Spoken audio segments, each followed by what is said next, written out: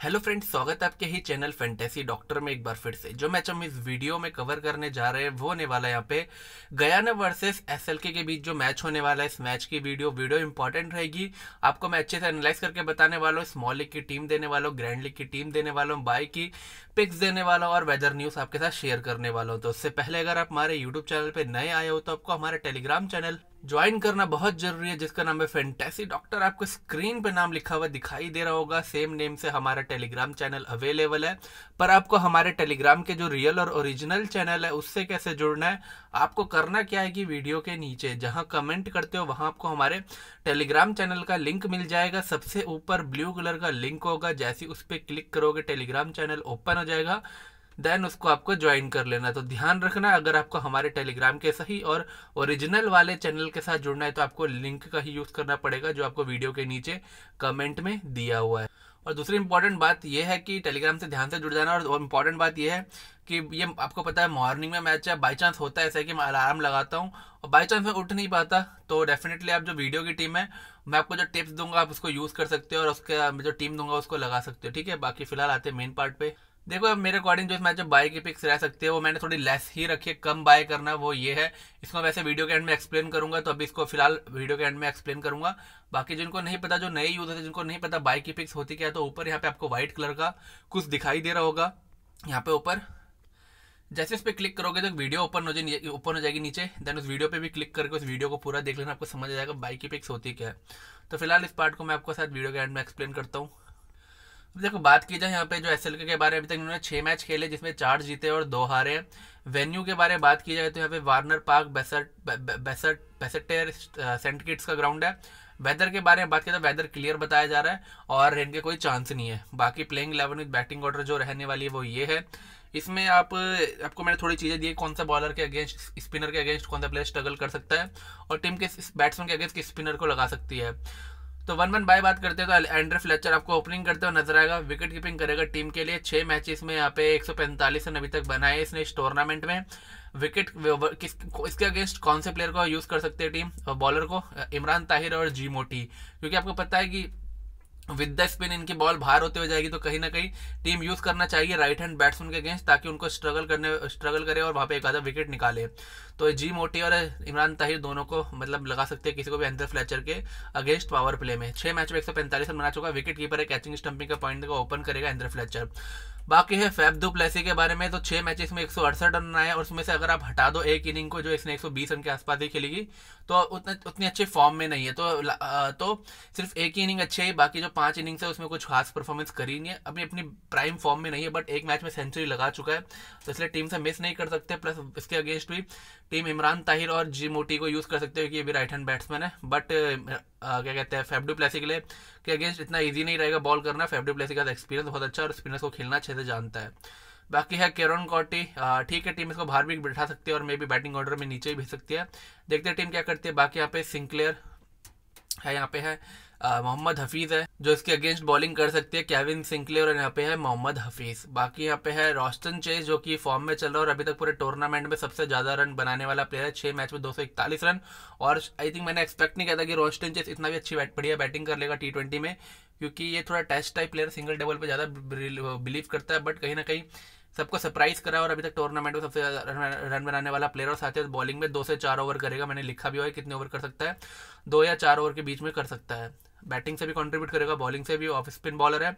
इसके अगेंस्ट भी right hand batsman team Imran Tahir और जी मोटी को यूज़ कर सकती है। बाकी यहाँ पे है सामित पटेल और यहाँ पे है समित पटेल लेफ़्ट आर्म और स्पिन बॉलर है। बैटिंग ये भी राइट हैंड से करता है। राइट हैंड बैट्समैन है और यहाँ पे दो ओवर एक्सपेक्टेड डाल सकता है। इसके अगेंस्ट में ताहिर और मोटी। समझ पा रहे हैं कि टीम में बहुत सारे राइट हैंड बैट्समैन तो कहीं ना कहीं ताहिर और मोटी को विकेट मिलने के चांस बन सकते हैं। तो यहाँ पे ध्यान रख के चलना, इन पर थोड़ा फोकस रखना। ताहिर को स्मॉल लीग में ग्रैंड लीग में मोटी पे।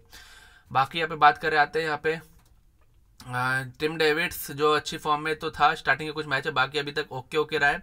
और अभी रिसेंट में इसको आरसीबी ने भी खरीदा रॉयल चैलेंजर बैंगलोर ने।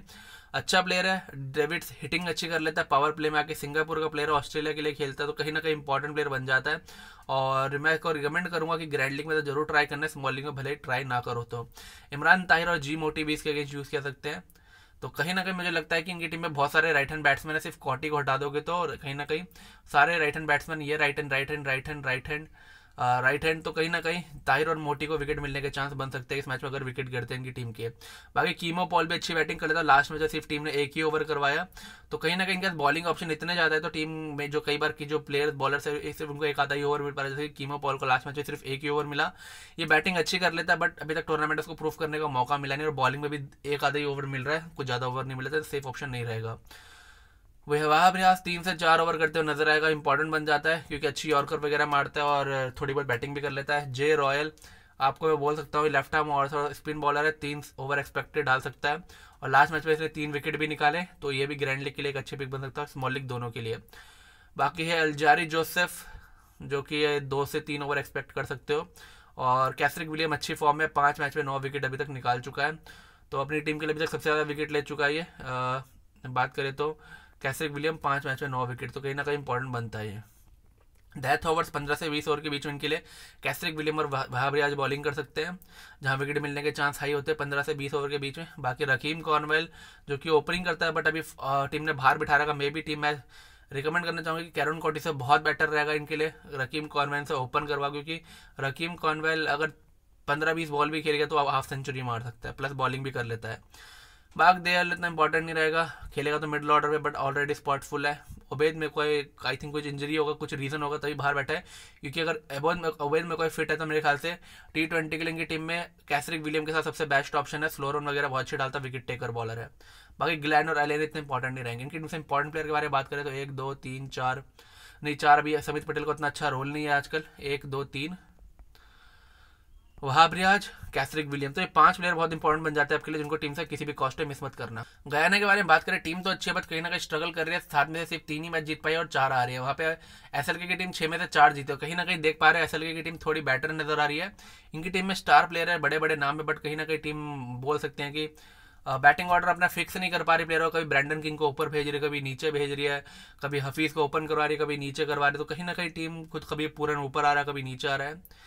मलिक को तो क्यों खिला रहे हैं? अगर ऊपर नहीं खिलाना तो मलिक को तो वेस्ट ही कर रहे हैं। तो कहीं ना कहीं टीम का मैनेजमेंट में दिक्कत है कि किस प्लेयर को किस पोजीशन में खिलाना उनको पता ही नहीं है।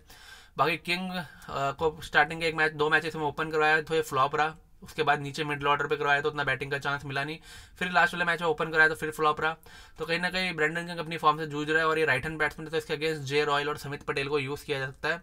तो मे भी समित पटेल को इसलिए कर सकते हैं क्योंकि टीम में राइट हैंड बैट्समैन अवेलेबल है। बाकी है चंद्रपॉल हेमराज अच्छी फॉर्म में सात मैच में एक सौ नब्बे रन लगा चुका है अभी तक। और रॉस्टन चेस का लेफ़्ट हैंड बैट्समैन तो इसके अगेंस्ट रोस्टन चेस को टीम लगा सकती है। तो रोस्टन चेस का अच्छा चांस हो सकता है लेफ़्ट हैंड के बैट्समैन को विकेट लेने में जैसे चंद्रपॉल हेमराज। आपको एक बात बताऊँ तो Chandrapaul Hemraj part time bowling कर लेता है स्पिन बॉलिंग बट बहुत कम रेयर टू रेयर एक आधा ओवर कर सकता है। हफीज़ दो से चार ओवर कर सकता है, जैसे मैंने आपको पहले बताया था। और यहाँ पे बात की जाए तो सात मैच इसमें एक सौ सड़सठ रन बना चुका है अभी तक हफीज। इस टूर्नामेंट में इसके अगेंस्ट भी टीम रॉयल्स और या फिर पटेल को यूज़ करना चाहे तो कर सकती है। ऑफ़ स्पिन बॉलिंग करेगा, दो से चार ओवर प्लस बैटिंग करेगा तो वाइस कैप्टनसी वगैरह के लिए एक अच्छे पिक बनेगा। हम मोहम्मद हफीज आपके लिए। अभी फॉर्म में भी ठीक ठाक है। बाकी बात करें हिटमायर सात मैच में वन फोर्टी नाइन बना पाया और आई थिंक दो फिफ्टी लगा चुका है। बट कंसिस्टेंट नहीं है, किसी मैच में चलता है, किसी में नहीं चलता। इसके अगेंस्ट टीम रॉस्टन चेस को यूज़ कर सकती है। बाकी है Nicholas Pooran captain plus wicket keeper कभी अपने आपको ऊपर नीचे प्रमोट डिमोट कर देता है। और यहाँ पे इसके अगेंस्ट भी रोस्टन चेस को यूज़ किया जा सकता है। तो रोस्टन चेस को देख पा रहे हो कि लेफ़्ट हैंड बैट्समैन के अगेंस्ट अच्छा खासा विकेट मिलने का चांस बन सकता है। तो कहीं ना कहीं रोस्टन चेस आपके लिए कैप्टनसी के लिए अच्छी पिक है। बैटिंग के सही फॉर्म है। फॉर्म में प्लस बॉलिंग से भी। यहाँ पे है, यहाँ पे पूरन भी ठीक ठाक टच में तीस चालीस रन करके आता बट बड़ी नहीं खेल पा रहा अभी। बाकी मलिक को तो टीम बताई वेस्ट ही कर रही है, क्योंकि फॉर्म में भी अच्छी नज़र नहीं आ रहा और अभी तक कुछ खास परफॉर्मेंस करी नहीं है। बाकी ओडेन स्मिथ ऐसा ऑप्शन है जिस पर किसी का ध्यान रहते नहीं बट कंसिस्टेंटली हर मैच में परफॉर्म कर रहा है। दो से तीन ओवर एक्सपेक्टेड डाल सकता है। अभी तक सात मैच में आठ विकेट ले चुका और बैटिंग से पच्चीस तीस रन भी हिटिंग से करके चले जाता है। तो कहीं ना कहीं इंपॉर्टेंट बन जाता है ऑलराउंडर का पॉइंट ऑफ़ व्यू से। शिफर्ड बहुत इंपॉर्टेंट बनेगा। सेकंड हाइस्ट विकेट टेकर अभी तक टूर्नामेंट है। पाँच मैचेस में चौदह विकेट ले चुका है। बैटिंग से भी कॉन्ट्रीब्यूट अच्छा करता है और अभी रिसेंट में आपको पता इसी साल के स्टार्टिंग में न्यूजीलैंड गया था वहाँ प्रैक्टिस मैच में सेंचुरी मार आ रहा तो बहुत अच्छी बैटिंग भी करता है बॉलिंग भी विकेट टेकर हुए। ऑप्शन भी है तो कहीं ना कहीं शिफर्ड आपके लिए वाइस कैप्टनसी के अच्छे पिक बन सकता है चार ओवर एक्सपेक्टेड पूरा डालेगा। बाकी सिंक्लेयर को एक दो मैच में मौका मिला ये भी इंटरनेशनल खेल चुका वेस्ट इंडीज के लिए बट उतना इफ़ेक्टिव नहीं है। तो इसलिए कहीं ना कहीं मुझे लगता है इतना इंपॉर्टेंट बनेगा नहीं। बाकी जी मोटी का डोमेस्टिक में बहुत अच्छा रिकॉर्ड रहा था इस साल। ती, तीन से चार मैचेस में चार चार विकेट लिए थे उसी दम पे इसको टीम में मौका मिल रहे हैं। तो ग्रैंड लीग में ट्राई कर सकते हो। आपको मैंने बताया भी किसके अगेंस्ट यूज़ कर सकते हो टीम तो ग्रैंड लीग के लिए। बाकी ताहिर स्मॉल लीग में ट्राई कर सकते हो। दस विकेट ले चुका सात मैचेस में। अब डेथ ओवर्स में यहाँ पे पंद्रह से बीस ओवर के बीच में रोमारी शिफर्ड ओशन थॉमस और जी मोटी आपको बॉलिंग करते हुए नज़र आ सकते हैं। लास्ट मैच में क्योंकि उन्होंने बॉलिंग करी थी। बाकी यहाँ पे है आ, वैसे इमरान ताहिर को करनी चाहिए। इमरान ताहिर का ज़्यादा अच्छा एक्सपीरियंस है। यहाँ पे मैं रिकमेंड करूँगा कि जी मोटी का मतलब यहाँ पे ताहिर को टीम लगा तो ज़्यादा बेटर है कि ताहिर के पास डेथ ओवर से बॉलिंग करने का एक्सपीरियंस ज़्यादा है। नवीन उलग बाहर बैठा हुआ है जो कि अफ़गानिस्तान का फास्ट बॉलर है। अश्मित नेट बाहर है। बाकी ये प्लेयर बाहर बैठे हुए हैं। इंपॉर्टेंट प्लेयर के बारे में बात करें तो मेरे अकॉर्डिंग हेमराज है, हफीज़ है, हेटमाय है, पूरन है ओडियन स्मिथ है, रोमारियो शिफर्ड है और ताहिर है। तो ये छः से सात प्लेयर उनकी टीम से इंपॉर्टेंट बन जाते हैं। तो फ़िलहाल मैंने ये टीम क्रिएट की हल्का सा आपको क्रेडिट क्रेडिट का इशू आएगा। या मैंने फ्लैचर को लेकर फ्लैचर ओपनिंग करेगा। तो ध्यान रखने वाली बात है कि फ्लैचर ओपन कर रहा है। तो कहीं ना कहीं फ्लैचर को रन पूरे बीस, एक सौ बीस बॉल खेलने का मौका मिला प्लस ये भी विकेट कीपिंग कर रहा है। बाकी पूरन को आप ग्राइंडिंग में ट्राई कर सकते हो, थोड़ा बैटिंग ऑर्डर नीचे।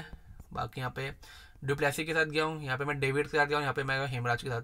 आपके पास क्रेडिट अवेलेबल है तो यहाँ पे आप ले सकते हो डेविड्स की जगह अगर आप किसी ऐसे ऐप पे खेलते हो, जहाँ पे क्रेडिट का इशू नहीं आता, वहाँ पे आप टीम डेविड्स की जगह शिमरान हितमेयर को ले लेना। ठीक है, बस एक चीज़, चेंज कर लेना, बाकी हेमराज को रखना है। और यहाँ पे फ़िलहाल मैं ड्रीम इलेवन क्रेडिट का इशू आ रहा है तो मैं यहाँ पे टीम डेविड के साथ जा रहा हूँ। और नहीं है, जिसमें नहीं आएगा तो आप यहाँ पे डेविड्स की जगह, डेविड्स की जगह हितमायर को ले सकते हो। बाकी और कोई बैटिंग सेक्शन में इतना इंपॉर्टेंट प्लेयर हमारे रहेगा नहीं। किंग आप ग्रैंड लीग में ट्राई कर सकते हो कि ओपन कर रहा है, किसी का ध्यान है नहीं। बारह परसेंट पंद्रह परसेंट सिलेक्शन रेट है। चेस यहाँ पे हफीज़ को रखा है यहाँ पे मैंने ऑडियंस स्मिथ को रखा। आपके पास ऑप्शन बनता है ग्रैंड लीग के लिए जी मोटी। और के पॉल से अगर टीम चार ओवर कराती तो मैं ज़रूर रखता बट सिर्फ़ एक आधा ही ओवर करा इसलिए मैं इतनी इंपॉर्टेंस दे नहीं रहा। स्मिथ को भी टीम दो ओवर तक दे रही है तो इसलिए इतना सेफ़ ऑप्शन मानूँगा स्मॉलिंग में। तो यहाँ पे मैं ऑडियंस स्मिथ के साथ जा रहा हूँ। बाकी यहाँ पे बात करे जा रहा हूँ मैं यहाँ पे ताहिर, शिफर्ड और यहाँ पे कैसरिक विलियम और रॉयल्स। अगर आपका क्रेडिट अवेलेबल तो मैं भावराज को ज़रूर लेना चाहूँगा। तो ये दो चेंजेस आप करना है। जहाँ आपको क्रेडिट का इशू नहीं आ, ध्यान से सुनना, जहाँ आपको क्रेडिट का इशू नहीं आ रहा, वहाँ पे आपको करना क्या है? जे रॉयल्स की जगह लेना है। वहाब रियाज और यहाँ पे आपको लेना है। शिमरान हितमर, आपको मैं एक बार बता देता हूँ। ठीक है, फ़िलहाल मैंने आपको ये टीम बना के दे दी है। आपको मैंने जे रॉयल्स ले लेना आपको। ठीक है, फ़िलहाल ये टीम हम क्रिएट कर लेते हैं और यहाँ पे देते हैं कैप्टनसी में देखे जाने वाला हूँ यहाँ पे और यहाँ पे और कोई प्लेयर पिक कर सकते हो? नहीं। कैप्टनसी के बारे में बात करूँ तो रोस्टन चेस वाइस कैप्टनसी में हफीज़ बाकी आपके पास वाइस कैप्टनसी का ऑप्शन है, वो है यहाँ पे रोमारियो शिफर्ड फेफडू प्लेसी तो इनको ट्राई कर सकते हो। फ़िलहाल मेरी टेम्प्रेरी टीम ये है स्मॉल लीग की। अब आते ग्रैंड लीग की टीम वन पे तो ग्रैंड लीग की टीम वन मेरे अकॉर्डिंग आपके लिए ये रहने वाली है। ग्रैंड लीग की टीम टू के बारे में बात करें तो ग्रैंड लीग की टीम टू ये रहने वाली है। बाकी जो फाइनल टीम होगी वो आफ्टर टॉस आपको, अगर मैं उठ गया तो टेलीग्राम पे दे दूँगा अदरवाइज़ आप इस टीम के साथ जा सकते हो और आपको मैंने ऑप्शन दे दिए कि कैसे कैसे प्लेयर को कहाँ पिक करना है। बाकी फ़िलहाल मेरी ये टीम रहेगी, बाकी बाकी टेलीग्राम कैसे ज्वाइन करना आपको वीडियो के नीचे जहाँ कमेंट कर, करते हो वहाँ आपको टेलीग्राम चैनल का लिंक मिल जाएगा। सबसे ऊपर ब्लू कलर का लिंक होगा। जैसे इस पर क्लिक करोगे टेलीग्राम चैनल ओपन हो जाएगा देन उसको ज्वाइन कर लेना है। तो ध्यान रखना टेलीग्राम से जुड़ने का सिर्फ़ एक ही तरीका है लिंक के थ्रू तो ध्यान से ज्वाइन ज्वाइन करना है टेलीग्राम को। बाकी बाई के पिक्स मैं लेस रख रहा हूँ क्योंकि आपको पता है कि थोड़े इनमें मैचेस अनएक्सपेक्टेड प्लेयर परफॉर्म कर रहे हैं तो कहीं ना कहीं शिफर्ड को अगर आप चाहो तो बाय कर बाय कर सकते हो। थोड़ा कम बाय करना। और थर्टी एट में अवेलेबल है क्योंकि अभी तक हर मैच में दो या तीन विकेट ले रहा है प्लस बैटिंग से पाँच दस रन भी करके जा रहा है तो आपके लिए कहीं ना कहीं शीफर्ड एक अच्छी पिक बन सकता है। दूसरे पे वहाब रियाज, दो विकेट निकालते प्रॉफिट सकता है और डेथ ओवर से बॉलिंग करता है और साथ ही बैटिंग अच्छी कर लेता है। बाकी Kesrick Williams wicket taker bowler है, पाँच मैच में नौ विकेट निकाल चुका है, हर मैच में दो विकेट निकाल के दे रहा है। तो बेसिस पर अगर इस मैच में दो विकेट निकालता है, आपका प्रॉफिट कर सकता है। और बहुत ही ज़्यादा और कम बाय करना चाहते हो तो हफीज़ कर सकते हो बट हफीज़ का ये है कि आ, कभी मैचेस में एक आधा ही ओवर करता है कभी दो ओवर करता है कभी तीन करता है। बैटिंग से भी पंद्रह बीस पच्चीस तीस करके दे सकता है। तो मेन मेरा फोकस रहेगा रेमारी शेफर्ड में नंबर वन पे।